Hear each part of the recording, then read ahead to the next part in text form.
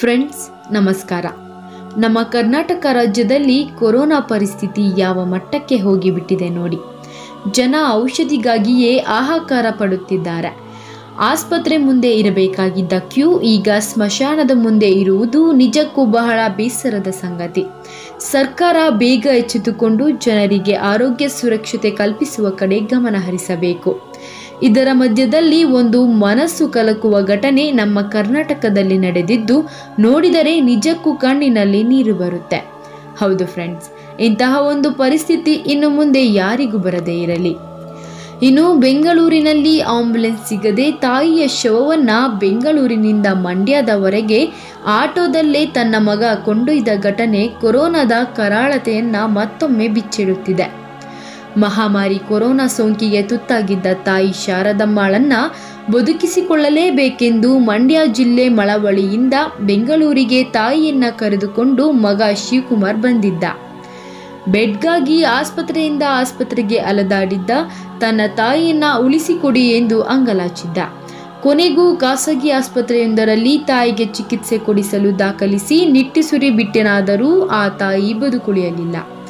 ತಾಯಿಯನ್ನ ಕಳೆದುಕೊಂಡ ನೋವಿನಲ್ಲೇ ಶವವನ್ನ ಊರಿಗೆ ಕೊಂಡೊಯ್ಯಲು ಪರದಾಡುವ ದುರುಸ್ಥಿತಿ ಉಂಟಾಯಿತು.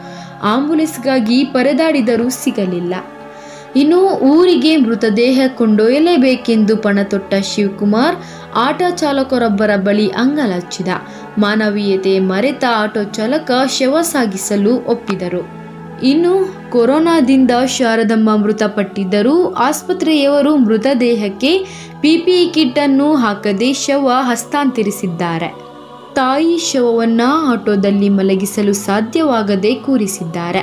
ಆಟೋದಲ್ಲಿ ಕುಲುಕಿ ಬೀಳದಂತೆ ಅಮ್ಮನ ತಲೆಯನ್ನ ಶಿವಕುಮಾರ್ ಎದೆಗೆ ಅನಿಸಿಕೊಂಡೇ ಪ್ರಯಾಣ ಬೆಳೆಸಿದ ದೃಶ್ಯ ಮನಕಲಕುವಂತಿದೆ ಇನ್ನು ಈಗಾಗಲೇ ರಾಜ್ಯದಾದ್ಯಂತ ಲಾಕ್ಡೌನ್ ಜಾರಿಯಲ್ಲಿರುವುದರಿಂದ ಪೊಲೀಸರು ಅಲ್ಲಲ್ಲಿ ಆಟೋ ನಿಲ್ಲಿಸಿ ತಪಾಸಣೆ ಮಾಡಿದ್ದು, ಶಿವಕುಮಾರ್ ಅಸಹಾಯಕತೆ ಕಂಡು ಅವರು ಮರುಗಿದ್ದಾರೆ.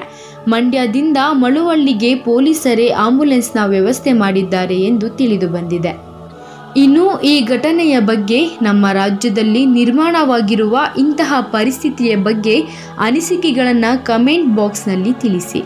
ಸಾಧ್ಯವಾದಷ್ಟು ಜಾಗೃತರಾಗಿರಿ ಹಾಗೂ ಸುರಕ್ಷಿತವಾಗಿರಿ. ಧನ್ಯವಾದಗಳು.